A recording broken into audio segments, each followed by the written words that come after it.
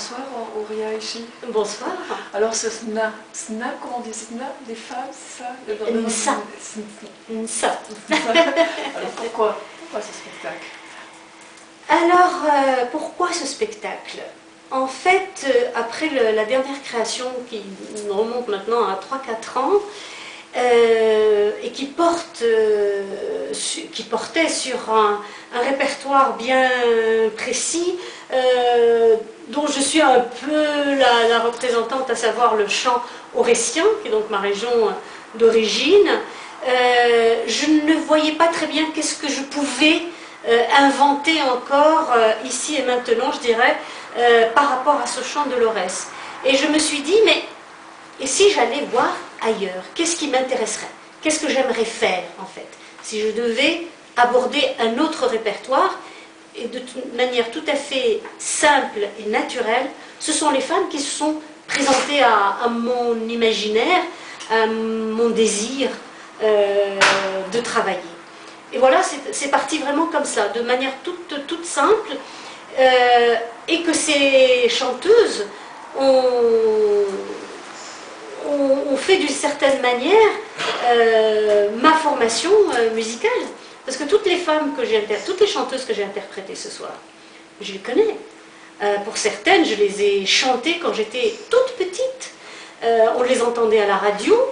euh, et, je connaissais pour beaucoup d'entre elles les chants que j'ai chantés ce soir.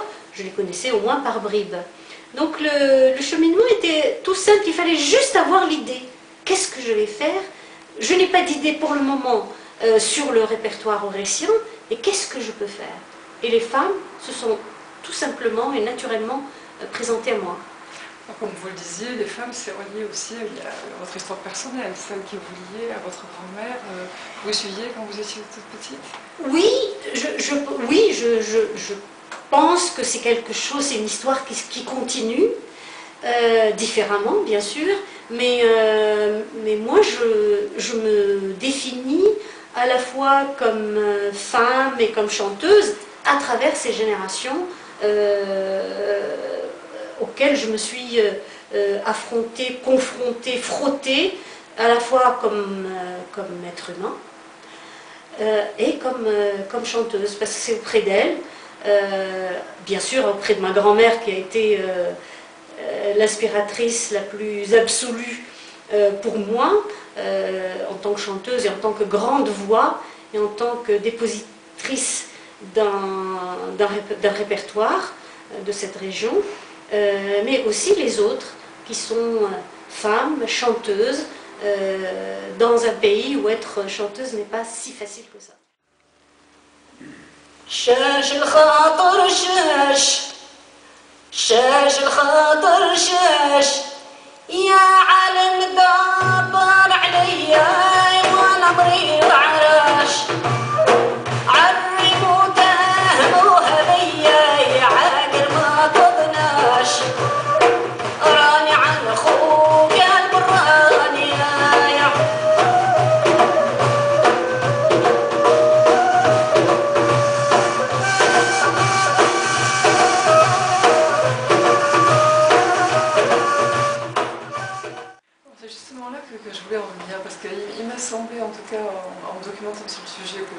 pas forcément au départ, c'est qu'il y a un paradoxe, c'est qu'à la fois, effectivement, on a ces grandes voix euh, féminines, et en même temps, euh, on a des exemples comme par exemple Sherifa, qui a eu un mal fou à, pou- à- à pouvoir euh, chanter. Alors, c'est très curieux, cette ambivalence. Oui, c'est un paradoxe, tout à fait. Et justement, je, pense que c'est ça qui est très intéressant. Je, pense que c'est cette idée-là exactement qui, m'a accrochée et que je trouve intéressante d'approfondir et de travailler. C'est que justement, ces femmes, comme Sherifa, Salwa, euh, Fadela Ziriya, Marine Fekkeh, etc., sont à la fois des grandes chanteuses, pour certaines des divas, comme on dit, mais en même temps, elles ont dû se battre vraiment très fortement pour pouvoir continuer à chanter. Et alors c'est vrai que c'est un paradoxe euh, dans nos sociétés où on est à la fois euh, complètement euh, adulé, mais avec une espèce de, de, comment dire, pas de rejet, mais en tout cas comme quelque chose qui gêne un peu que d'avoir une, fille. Je, dis souvent que dans une famille, la pire des choses qui puissent arriver, c'est d'avoir une fille qui chante. Et alors c'est vrai, il y a ce paradoxe entre le fait d'adorer ces chanteuses, mais en même temps d'avoir un sentiment comme ça de réprobation des filles qui sont, qui sont des chanteuses publiques. Parce qu'on a le droit d'être chanteuse à l'intérieur, puisque euh, moi, dans ma tradition, les femmes ont toujours chanté, toujours. Mais on chante à l'intérieur.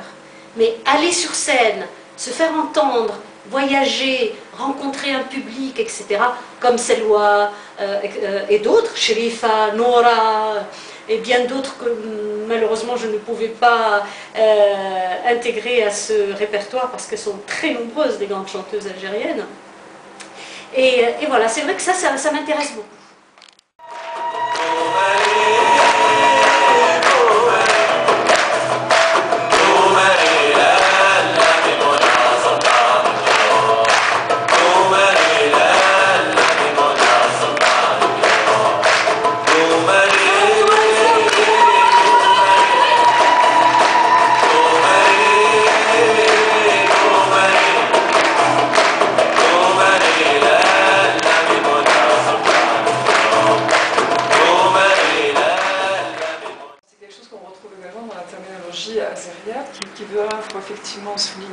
Femme qui chante et en même temps qui est un peu aussi une, affranchie, qui, se met, à la marge. Euh, oui, c'est, oui, vous avez bien raison de, rappeler cette, euh, euh, particularité de la région de, de l'Aurès, où en effet il y a une pratique, il y avait peut-être encore aujourd'hui des traces dans l'Aurès de ces femmes qui sont à la fois adulées, même presque un peu, euh, euh, euh, elles ont un, côté sacré, hein, et qui sont totalement affranchies par rapport à la société dans laquelle elles vivent, puisque pour être Azria, il ne faut pas avoir d'homme dans sa vie. on peut en avoir eu, mais plus. Quand on devient Azria, on n'a plus d'homme, on est affranchi. Et c'est très. On revient à cette, euh, idée du paradoxe. Ces femmes sont à la fois euh, vécues comme euh, ayant un côté magique, donc elles sont aimées passionnément par les gens, mais en même temps, c'est limite, limite, limite de les considérer comme, en tout cas, on a une certaine réprobation, en tout cas au moins dans la ville.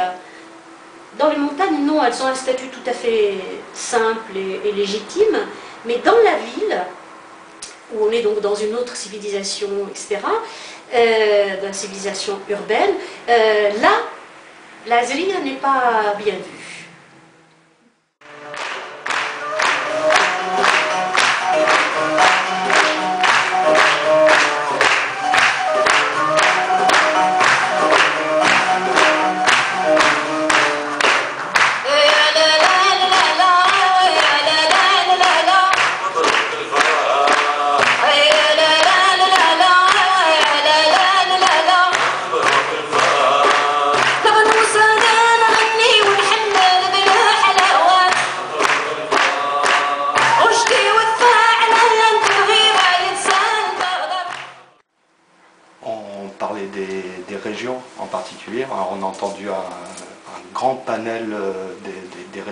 Ce soir, euh, avec aussi des manques, voilà, des manques sur des personnalités, sur euh, le Constantinois aussi.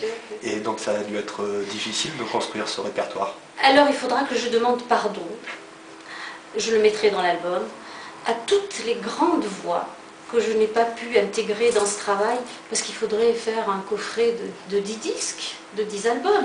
Ce pas, il y a vraiment de très très grandes voix algériennes et euh, bien sûr je pense à Zhour, je pense à, à je pense à Nora, je pense à Nouara, je pense à plein plein plein de grandes chanteuses euh, et d'autres par exemple dans l'Oranais, etc., dans le sud.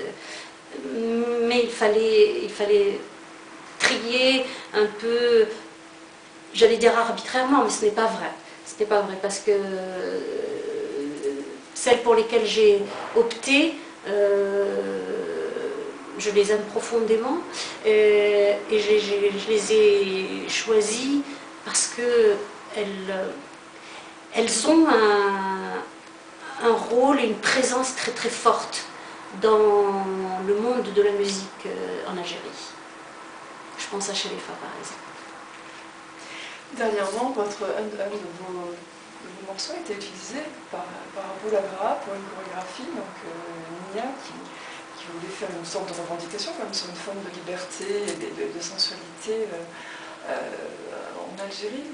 Et où là, donc, on voyait l'absence des, femmes, en tout cas pour, l'instant. Est-ce que le fait de chanter, justement, est-ce que ça a aussi une, une importance aussi aujourd'hui en Algérie par rapport à une émancipation, féminine De toute manière, je pense que euh, l'art, de manière générale, est libérateur, quel que soit le domaine dans lequel les artistes créent. Donc le chant aussi, le chant féminin aussi, participe à ce mouvement de l'histoire euh, qui va forcément vers, enfin forcément, en tout cas, il y a un mouvement comme ça qui va vers, euh, vers l'émancipation des femmes, mais le travail de, Aboula Agra avec ces, jeunes gens euh, et, bien d'autres, la, peinture, euh, il y a de merveilleuses stylistes algériennes maintenant qui font des choses éblouissantes, sublimes. Euh, l'art en général participe forcément à l'émancipation, pas seulement des femmes, mais du peuple. Parce que... C'est la sociologue qui parle. L'un ne va pas euh, sans l'autre, je veux dire. Euh, euh, si les hommes sont, comment dire, ne sont pas libres, les femmes ne peuvent pas l'être non plus. Donc vous êtes optimiste par rapport à l'évolution artistique et intellectuelle en Algérie? Vous savez, il y a une vie intellectuelle incroyablement riche et féconde en Algérie. C'est très étonnant. C'est vraiment très étonnant, à tout point de vue et dans tous les domaines. Le nombre d'écrivains, de grands écrivains, de grands écrivains en Algérie est incroyablement euh, grand. Euh, il y a des peintres, il y a des danseurs, euh, des créateurs, des chorégraphes. Je vous parlais à l'instant de ces merveilleux stylistes qui créent des costumes il y a des femmes écrivains aussi, des grandes femmes, des grandes écrivaines, Maïssa B entre autres et bien d'autres. Euh, l'art c'est important. L'art c'est important parce qu'il participe vraiment du mouvement d'émancipation. Ça, je le pense profondément. Merci. Merci à vous. Merci.